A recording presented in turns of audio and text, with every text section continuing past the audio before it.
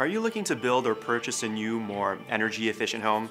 Maybe something a little different that can also save you money on utility bills? Well, you might want to consider a net zero energy home. Welcome to Science at Work, a video series where we showcase the great work of the scientists and engineers at Natural Resources Canada.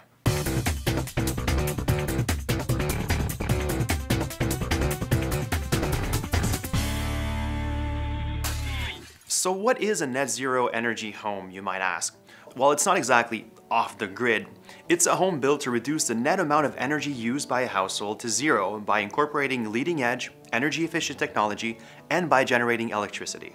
A net zero energy home includes renewable energy systems, such as solar power, but it's still connected to the electricity grid.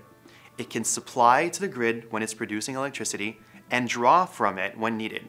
Over the course of a year, the energy supplied to the grid balances the energy drawn from the grid. This is what we call net zero energy.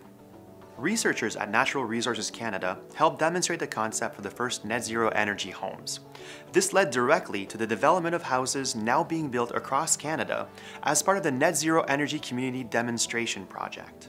Through this project, five home builders across Canada are building a total of 26 net zero energy homes, and in the process, are figuring out how to make net zero energy homes more affordable.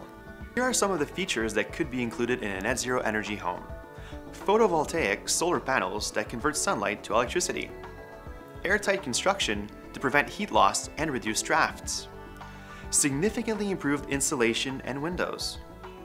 High efficiency space heating, hot water, and ventilation systems that can significantly lower your energy consumption drain water heat recovery systems that take the heat from hot water from shower drains and use it to preheat cold fresh water coming into the home. And home energy displays that allow you to monitor your energy use and energy production.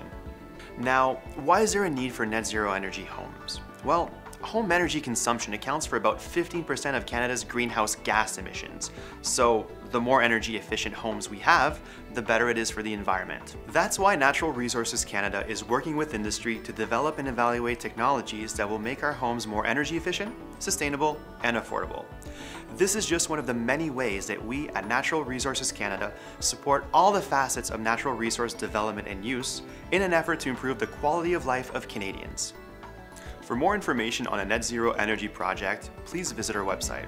Thank you, and see you next time.